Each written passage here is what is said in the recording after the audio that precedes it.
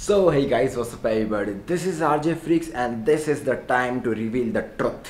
तो गाइस ऐसा है जो लोग मुझे कॉलेज के टाइम से जानते हैं या फिर कॉलेज के बाद से जानते हैं मोस्टली उन लोगों को सिर्फ़ इतना ही पता है कि एक्चुअली uh, मैं फ़र्स्ट ईयर से बाइक ला रहा था जब से मैं आया था अपनी आर वन फाइव जिसका नाम मैंने रजिस्ट्री कर रखा था जो मैंने बेच दी दो महीने पहले अभी मैं बताऊँगा कि क्या था रीज़न बाइक बेचने का मेरा जब मैं कॉलेज में आया उससे पहले मेरे पास एक बीस्ट बीस्ट मेरे पास एक है थी और है और रहेगी। तीन साल से वो जगह पे खड़ी थी।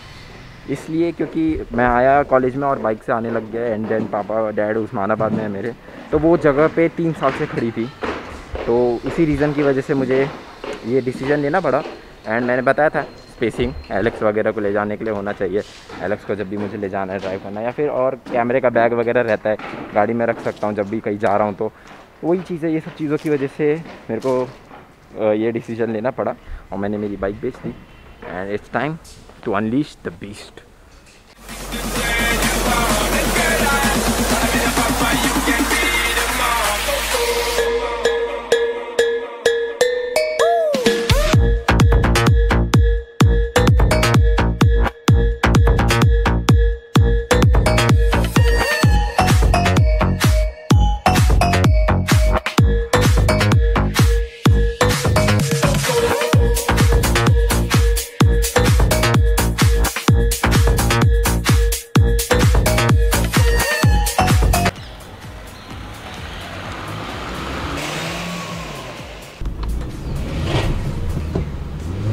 this was the truth that has to be revealed comment कर देना, मैं इस गाड़ी का भी रिव्यू कर दूँगा। सब फीचर्स बता दूँगा स्पेसिफिकेशंस बता दूँगा।